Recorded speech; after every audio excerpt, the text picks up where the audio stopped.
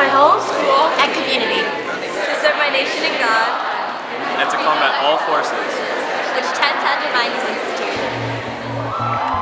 This weekend, Dublin Key Club came to the Sacramento District Convention, where almost 3,000 Key Clubbers came to celebrate the old term and begin anew.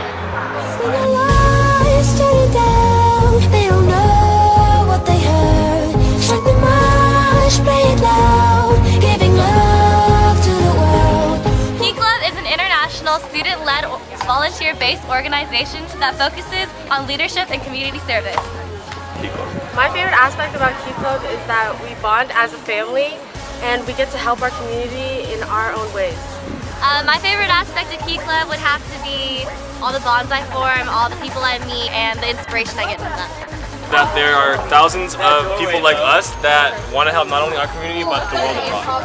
Our core values include caring and inclusiveness. Character building and leadership. We don't make keys, but we do open doors. It's not just Asian people. You see, Maddie, she's white. Fire, fire, yeah, we got the fire, fire, fire. And we gonna let it burn, burn, burn, burn. Now that I'm in Key Club now, this year, uh, I've made more friends than I could ever have. So you should join Key Club because you could become a better leader and um, help support your community. Um, you should join Key Club because there's a lot of enthusiasm in everything we do.